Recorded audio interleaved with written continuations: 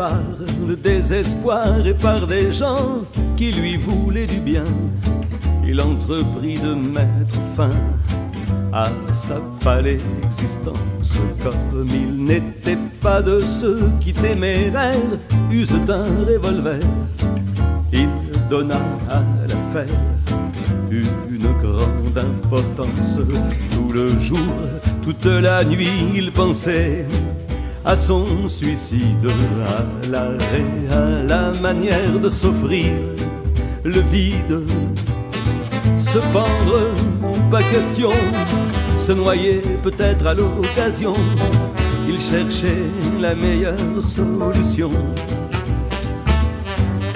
Ne mangeant plus, ne dormant plus, dépérissant de jour en jour, le pauvre faisait pitié, les gens disaient il faut faire quelque chose, redonner un peu de vie à son projet, en tout état de cause, l'empêcher de mourir avant de se tuer, comme on soigne un condamné pour qu'il trépasse.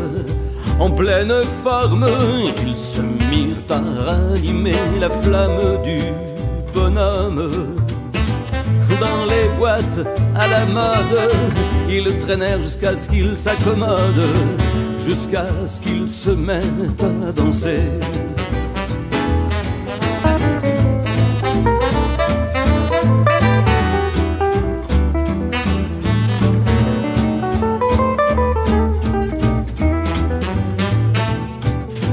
Riche de ce coup de sang, il se promit, dès lors quoi qu'il arrive, de faire un mort vivant, toujours sur le qui-vive.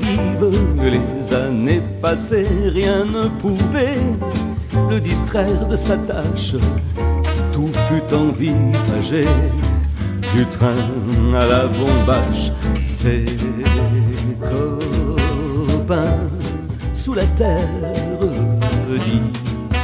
disaient il exagère le voilà centenaire pour quelqu'un qui était pressé. Alors lassé d'attendre qu'il veuille bien la prendre, elle se serra tout contre lui. Et c'est la mort dans l'âme qu'alors il rendit l'âme bêtement dans son lit.